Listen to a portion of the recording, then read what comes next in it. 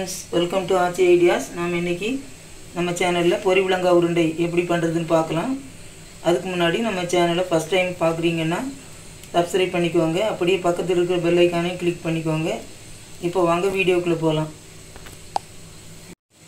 பொரி விலங்காய் செய்வதற்கு தேவையான பொருட்கள் என்னென்னு இப்போ பார்த்துடலாம். அதுக்கு வந்து பச்சரிசி மாவு வந்து ரெண்டு கப் வெல்லம் நானூறு கிராம் வேர்க்கடலை ஐம்பது கிராம் பச்சை பருப்பு ஐம்பது கிராம் உடச்சக்கடலை ஐம்பது கிராம் உப்பு சிறிதளவு ஏலக்காய் வந்து ஒரு அஞ்சு நம்பர் நெய் ஒரு டீஸ்பூன் இந்த பச்சரிசி மாவில் நான் வந்து சுக்கு வந்து ஒரு ரெண்டு துண்டு போட்டு அரைச்சி வச்சுருக்கிறேன்.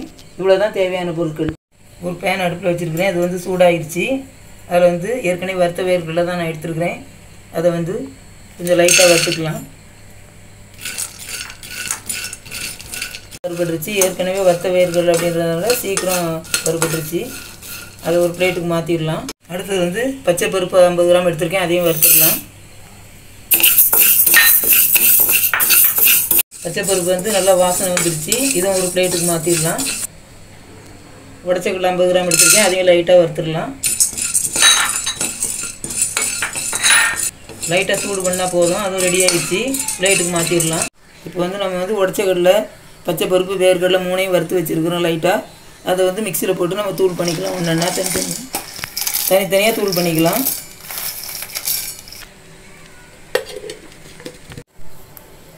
இப்போ வந்து நம்ம சுக்கு பச்சரிசி ஏலக்காயெல்லாம் மூணு சேர்ந்து அரைச்சி வச்சுருக்குறோம். அந்த மாவு கூட வந்து நம்ம உடச்சக்கடலை வறுத்து அரைச்சி வச்சுருக்குறோம். அதையும் சேர்த்துடலாம். பச்சை பருப்பு அதையும் சேர்த்துடலாம். கூடவே வேர்க்கடலை அதையும் சேர்த்துடலாம். சேர்த்து நல்லா மிக்ஸ் பண்ணிக்கலாம்.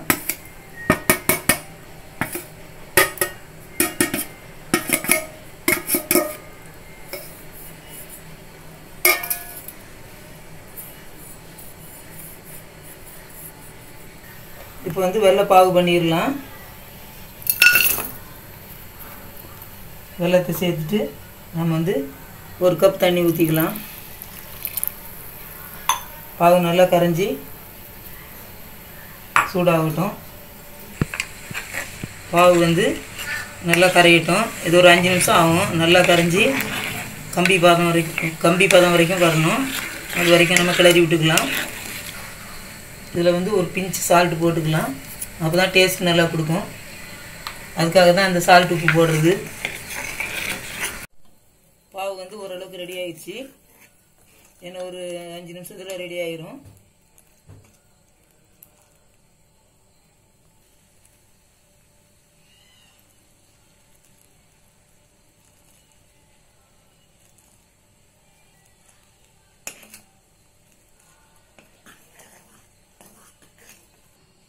இதில் வந்து கொஞ்சமாக நம்ம நெய் சேர்த்துக்கலாம் வாசனைக்காக. ரெடி ஆயிடுச்சு. இதை வந்து மாவில் கொஞ்சம் கொஞ்சமாக சேர்த்து உருண்டை பிடிச்சிடலாம்.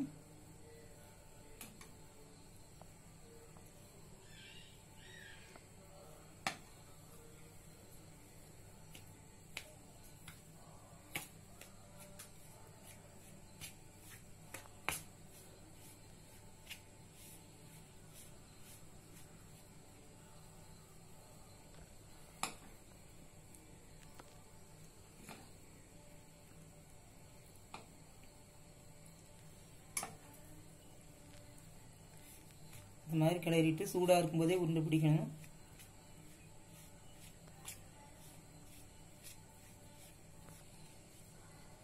இந்த மாதிரி சூடாக இருக்கும்போதே நல்லா உருண்டை பிடிச்சிக்கலாம்.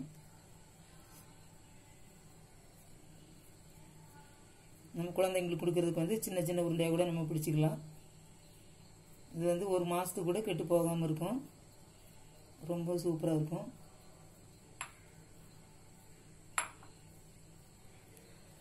இந்த மாதிரி ஒரு ஒரு உருண்டையாக பாவு போட்டு சேர்த்து சேர்த்து சூடாக இருக்கும்போதே பிடிக்கணும். அப்போ தான் நல்லா உதிரி இல்லாமல் நல்லா கட்டியாக வரும்.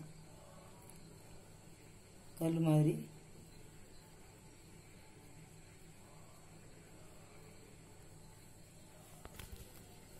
இந்த மாதிரி ஒரு ஒரு உருண்டையாக நம்ம பிடிச்சி வச்சுக்கலாம். இந்த உருண்டை வந்து ஒரு மாதம் வரைக்கும் கெட்டு போகாது. இதை வந்து செஞ்சு வந்து நம்ம ஸ்டோர் பண்ணி வச்சுக்கலாம். ரொம்ப ஹெல்த்தியான பாரம்பரியமான பொரி விலங்கா உருண்டை. எப்படி செய்கிறதுன்னு பார்த்தோம். நீங்களும் வீட்டில் ட்ரை பண்ணி பாருங்கள் இது மிகவும் சத்து நிறைந்தது. குழந்தைங்களுக்கு வந்து சின்ன சின்ன உருண்டையாவது நம்ம செஞ்சு கொடுக்கலாம். ரொம்ப நார்ச்சத்து அதிகம் இருக்குது இதில். நீங்களும் வீட்டில் ட்ரை பண்ணி பாருங்கள் நன்றி வணக்கம்.